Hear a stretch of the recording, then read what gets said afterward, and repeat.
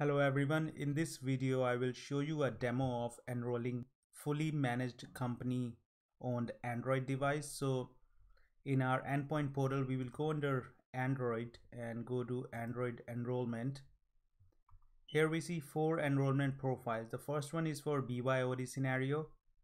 The second one is corporate owned fully managed dedicated devices or the shared or kiosk devices the third one is corporate owned fully managed uh, device. So in this the device is corporate owned and it's fully managed by by the company.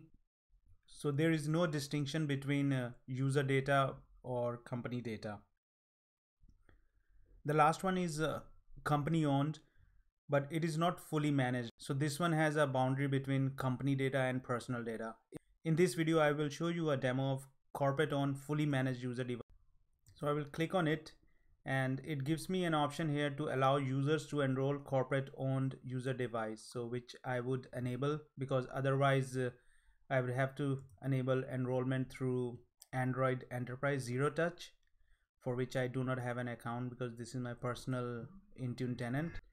So I have uh, enabled the enrollment token. Now on my device I will reset it and after the reset I will go through the enrollment process here is my Android 9.0 device which I have reset and now I will first connect it to internet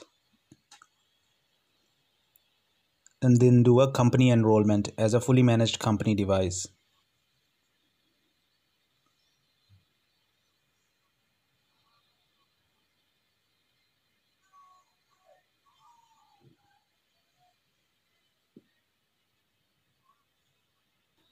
Now at the sign in screen, we will not put in our username. Instead of that, we will put in a string which is AFW hash. So this is the string AF. We will put in this string AFW hash setup and click on next. So we will not put in our user ID here.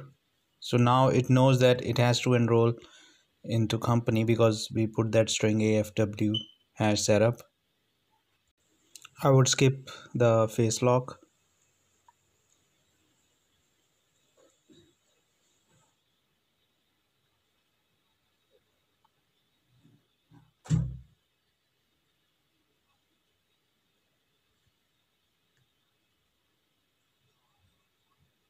Now I will have to scan the QR code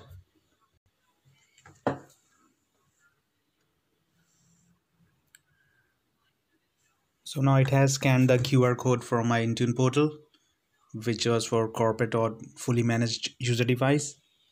Now it is updating the device. So it will take few minutes and then it will ask us to put in the user ID and password for our Intune uh, licensed account.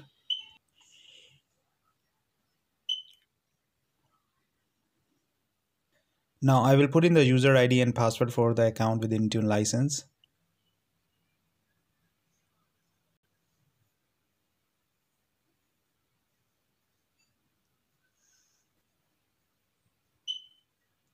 Now it is giving me the screen to install work apps.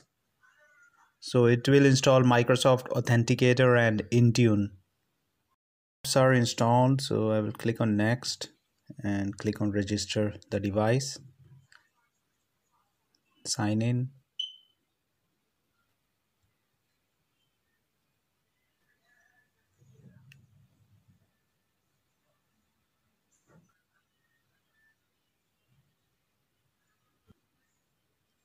so this is device category which I put in Intune so I will select one of them.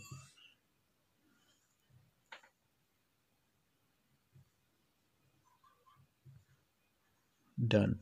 So now the device has been registered as a company device fully managed uh, company owned device. So if I go to Play Store I will not see any app here. I will only see the apps which have been published through my Intune and also under all the apps list I do not see any other apps listed here. So now this device is acting as a fully managed corporate device.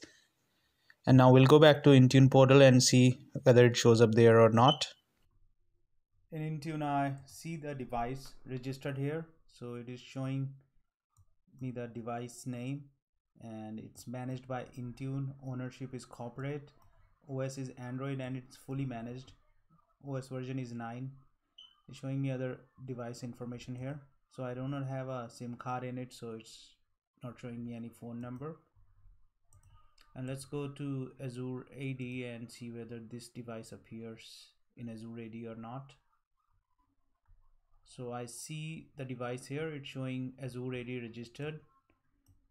And it shows uh, the owner of the device as me as I have put in my user ID and registered the device so here it is. So this was a demo on how to register a Android device as a fully managed uh, corporate device. In next video I will show you a demo of uh, registering the device as a corporate device but with work profile. So it won't be fully managed and will have a separate partition for personal data I hope you like this video and uh, please like and subscribe to my channel and I will see you in my next video. Bye bye.